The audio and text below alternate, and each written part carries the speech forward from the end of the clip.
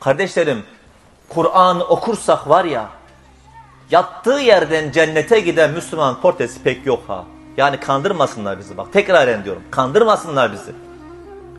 Kalbin temiz şudur budur bakın Kur'an-ı Kerim'i okuduğunuz şu iki yaprağı arasındaki 606 sayfayı okuduğunuzda yani böyle bir portre ben pek göremiyorum yani öyle.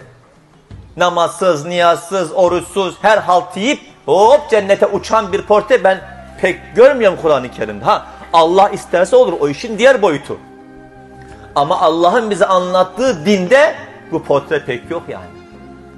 Devlet sana üç kuruşluk bir emekli maaşı vermek için şu tarihte geleceksin, şu tarihte çıkacaksın, şu kadar prim ödeyeceksin, ben sana şu kadar maaş vereceğim diyor değil mi? Bir gün bile eksikse maaşını ödüyor mu sana? Ödemiyor.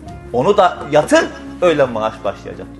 De devlet sana üç kuruş para verecek, sana kırk tane önüne şart sunuyor. Allah sana ebedi cennet verecek. Olmayacak mı belli bir şartları? Mutlaka olacak. Uykudan vazgeçme değmez mi? Uykusuz kalma değmez mi? Yatak orada seni beklerken ya Allah deyip ayağa kalkmak ebedi cennet için değmez mi? Vallahi değer ya. Vallahi değer ya.